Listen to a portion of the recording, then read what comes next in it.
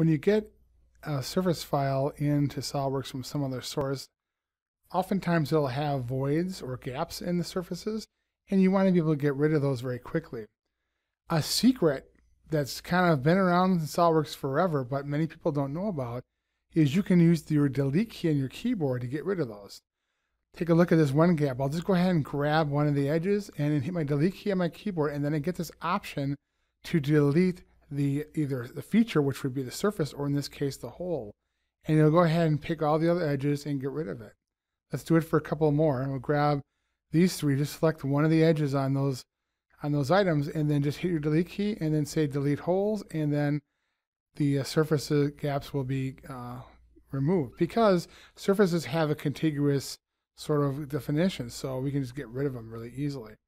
Now, sometimes it doesn't work on open gaps like this, and you'll get an error message saying it's not possible. So what do you do in those cases? Well, then you're going to go ahead and add your own surface. Now, you can use a number of different surface types. Uh, fill surface would be one, for example, but when you do that, sometimes you don't get exactly the geometry you want.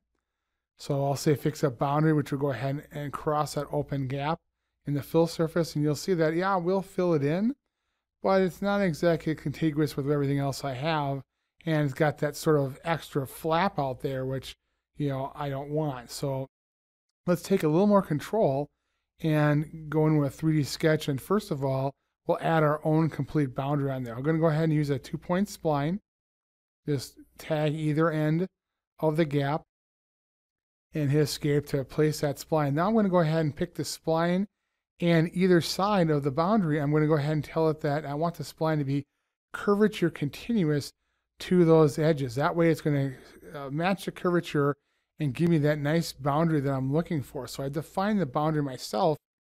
And now to fill that in, I'm going to use a little more sophisticated um, surface tool called the boundary surface.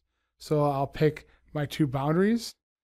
In this case, I'm going to also tell it that I want a curvature continuous to the outside of the rest of that surface. And then we'll just go up to that other boundary and then they'll fill it in very nicely, matching the curvature all the way around and giving me that, nice contiguous uh, boundary that I want for my surface fill.